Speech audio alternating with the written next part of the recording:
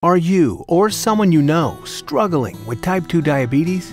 Are you tired of taking multiple medications while searching for the answers to overcome this ferocious disease? Well, an engineer named DeWayne McCulley searched for the very same answers, and, like far too many people struggling with type 2 diabetes, he was about to end up here. I was diagnosed with a specific condition known as a non-ketotic hyperglycemic hyperosmolar coma. Now, uh, when I came out of the coma, the doctor said, uh, DeWayne, we got some good news and we got some bad news. The good news is that you're alive. The bad news is we've got to remove your legs. This is DeWayne's story of recovery from diabetes. So, if you or someone you love has type 2 diabetes, you need to keep watching.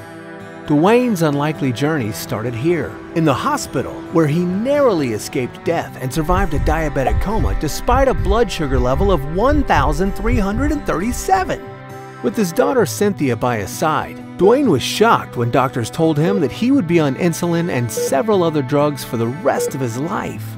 They said he'd likely be facing kidney dialysis, blindness, and even amputation in the future. After leaving the hospital, with the help of his daughter, mother, and sister, DeWayne started eating what his mother called God's food. Lots of green vegetables, smoothies, raw juices, plant oils, nuts, seeds, etc. During the next four months, DeWayne transformed his diet and lifestyle, lost 55 pounds, and lowered his blood glucose all the way down to 87. In addition, DeWayne was able to completely wean himself off insulin and other drugs. So, there you have it.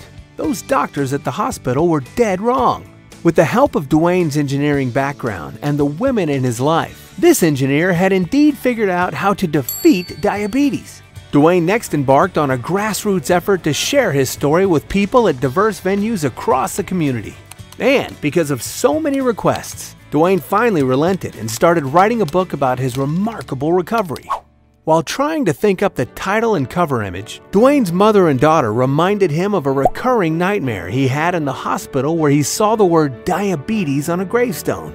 And with this, Death to Diabetes was born. This book teaches you how to manage and improve your type 2 diabetes, prevent diabetic complications, reduce your dependency on drugs, and much, much more.